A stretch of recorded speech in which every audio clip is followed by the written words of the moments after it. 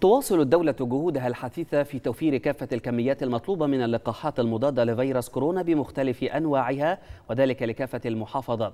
في هذا الإطار تم عقد اجتماع لمجلس المحافظين في مقر مجلس الوزراء عبر تقنية الفيديو كونفرنس لبحث عدد من ملفات العمل المهمة وفي مقدمتها ما يتعلق بالتعامل مع مستجدات أزمة فيروس كورونا.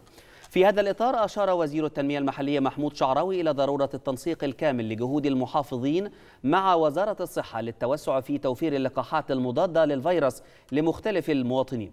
ومن جانبها لفتت وزيرة الصحة هالة زايد إلى أنه من المستهدف بنهاية العام الحالي الوصول بعدد المواطنين الحاصلين على اللقاحات المضادة للفيروس إلى 40 مليون مواطن.